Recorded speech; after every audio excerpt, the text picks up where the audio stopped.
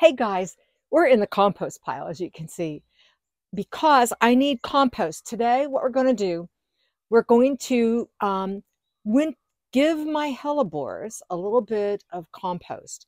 They need fertilizer this time of year because they start blooming the end of February through spring. This is the first season I've had. I planted them last year in March and they were in bloom, but they've come through a hard winter and I'll show you how we're going to clean them up, fertilize them. And while we're up there, clean up a little bit in that bed um, beside where the water barrel goes and clean out some chickweed.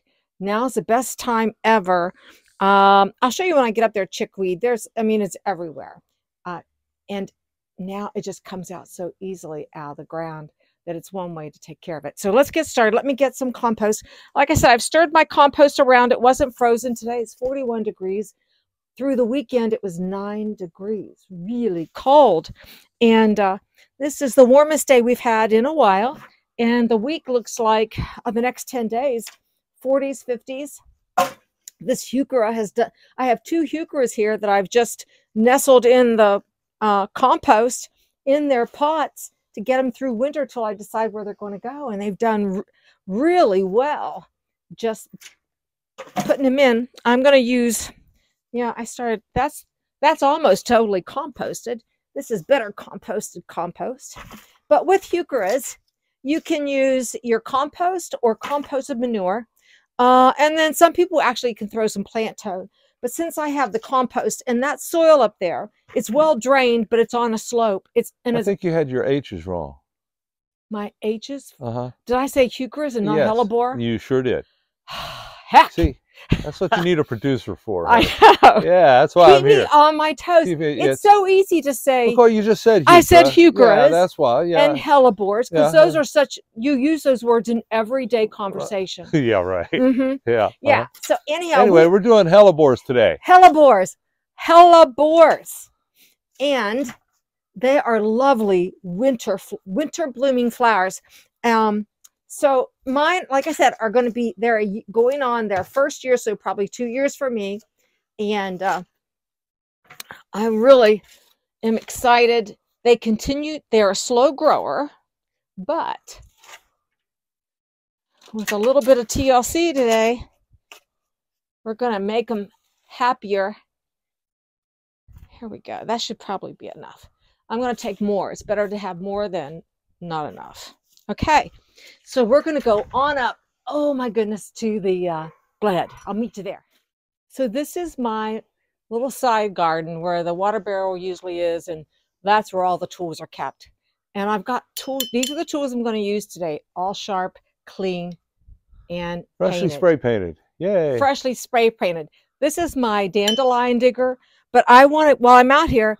This is the tick seed, Chickweed. chickweed. this is the chickweed, and look at this little thing, how it comes up so easily. And look at those blooms on it.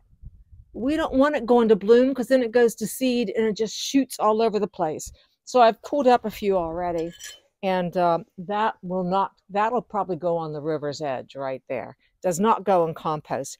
But what we're talking about today are my heucheras. No. Ah, no, hellebores. These are hellebores. This is a heuchera that needs, look where it's heaved up out of the ground, or else one of my cats, one of my cats, it's still rooted. While I'm talking about that, I'm gonna, I'm gonna dig that out and replant it in some compost.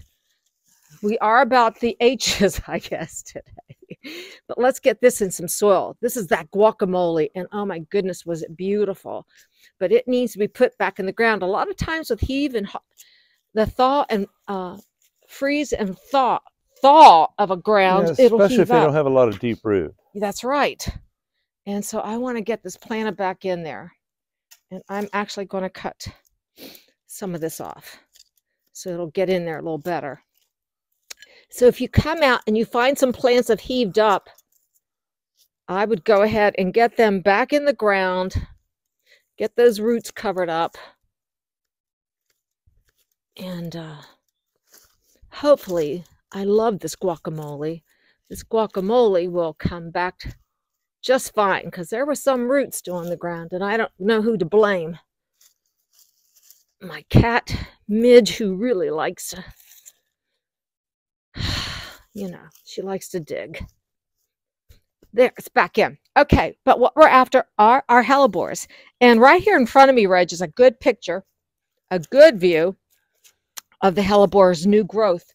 You, you got to get out of the way. Let me get out of the no, way. no, you're good. Let me get. Am I good? Yeah, let me get over here. Okay. Show the you can see this new growth here. And with hellebores, they stay nice and they can be evergreen through uh, zone six through nine. And I've mentioned before many times that um, don't step on everything to my producer. That I still like to feel like I'm in a zone five because so many things get really chilled out and frozen back. But um, when your hellebores start looking really tattered this time of year, cut them back because all this new foliage. It's almost yeah, like you're killing the plant. It You're kill- is, I know. The plant. And I see- hope I don't. You know, well, no, this you see the new growth right there. I think Yeah. that you know that's a positive thing. it is. This is an old fern. But and right above it is another hellebore, and you can see the nice new green growth under that old. hmm So we're going to cut that back Well, I'm not going to walk in there because No, I'll get don't. chastised for No, stepping on something. because I have daffodils right here Oh, coming up, 'em, and Yeah, then we have the primrose. so it's kind of hard to watch the camera and and, And walk step, at the I same know. time. and the all. primrose like right now is a good time i'm jumping from things to things but um, it's a good time with your primrose cut back this old dead foliage. Look how much prettier. Okay teresa. I know. Stay focused. Um, so let's go ahead. Let's cut back the dead on my hellebore. When you cut the hellebore you cut clear back. Um, i was going to make it easier for reg to see. There's a little growth. You want to take it clear back to the end of the plant. Clear back in there. And you can see the new growth coming up here. Not as aggressive as on the other plant, but I can still see it. Yes, I know. But you're going to cut, you can see how dead this one looks really yucky. So you cut that clear back. And then we're going to put compost all around these pretty new. I'll put that up there for now. Get this cleaned off. Our temperatures, like I said, are going to be 40s and 50s this week. No nine degrees. Oh my goodness, that was something. And with the hellebores, I think I mentioned they're hardy four through nine. They like to be in well drained soil. They do best in partial shade to shade. Now, if you're under uh, uh, an evergreen, they stay pretty much in the shade. If you're under deciduous trees, it's good to have them under deciduous trees. Once they lose their leaves, then in the winter they can get a little more sun. This is a good spot. Mine get a little sun in the winter, but they stay shaded through the summer. And then you fertilize this time of year with your uh, compost and your composted manure. I think that's, and they like moisture. When you first plant them, you want to keep them watered, but then once they're established, they're good to go. They're wonderful perennials because even though in the winter it gets cold and look like they're dead, their roots stay really healthy under the ground. Let me go ahead and take that one off. There's that. I have one more over there, but I'm not going to worry with doing that now. It's easier for Reg just to see me here. So well, I might step on something. well, yeah, because there's a lot of stuff over there. so let's get compost and get that all around the plant.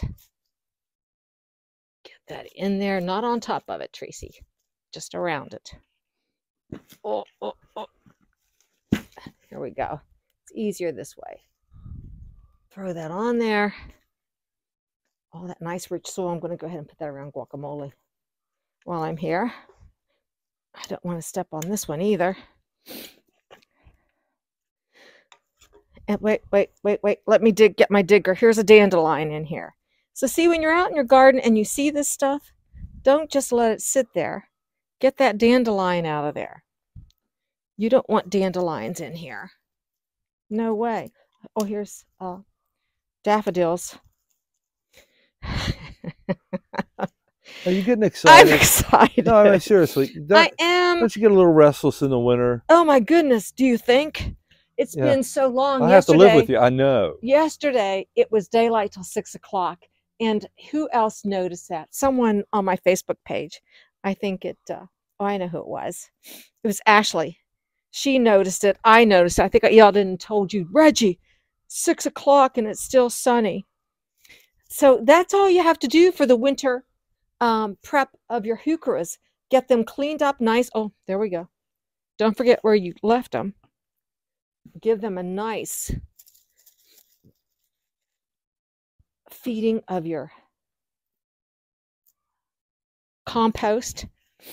And oh, these are, I have a little tag. I have double whites and red and winter plum in these that are right in here. So That one over there on the other side, it's the That- same. Yeah, that one needs to be trimmed. It's yeah, it's the same too. Yeah.